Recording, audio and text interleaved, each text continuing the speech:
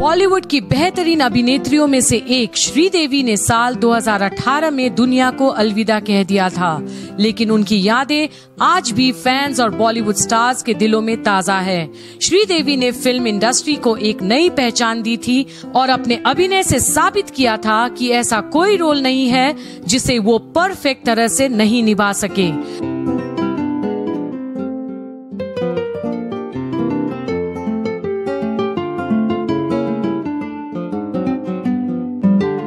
श्रीदेवी का असली नाम श्री अम्मा अयंगर अयप्पन था। उन्होंने चार साल की उम्र में अपना एक्टिंग डेब्यू किया था। श्रीदेवी ने बतौर चाइल्ड आर्टिस्ट 1960 में आई फ़िल्म थुने वन में भगवान मुरुगन की भूमिका निभाई थी।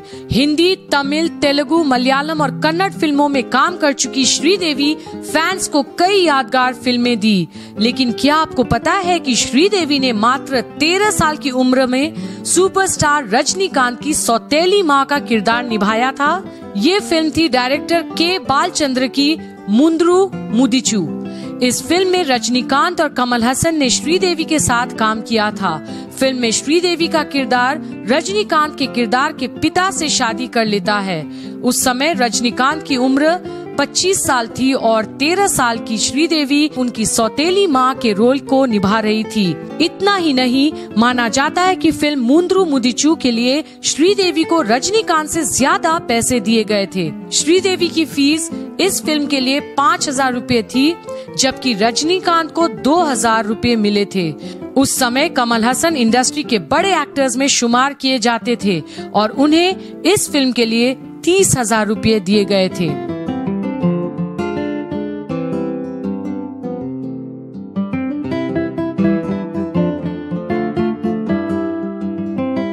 एक इंटरव्यू के दौरान श्रीदेवी ने बताया भी था कि कैसे रजनीकांत बड़ा नाम कमाना चाहते थे। रजनीकांत श्रीदेवी की माँ से बेहद करीब थे। वो रजनी को अपने बेटी की तरह प्यार करती थी। इतना ही नहीं, श्रीदेवी और रजनीकांत की दोस्ती भी बहुत गहरी थी। श्रीदेवी और रजनीकांत ने लगभग 20 फ़िल्मों में साथ काम किया था। माना जाता है कि फ़िल्म राणा की शूटिंग के दौरान, जब रजनीकांत की तबीयत खराब हुई थी तो वे अस्पताल में भर्ती हुए थे। तब श्रीदेवी को खबर मिलने पर वे बहुत परेशान हुई थी और उन्होंने शिरडी साई बाबा को याद कर रजनी की तबीयत ठीक होने की दुआ मांगी थी और उनके लिए व्रत भी रखा था।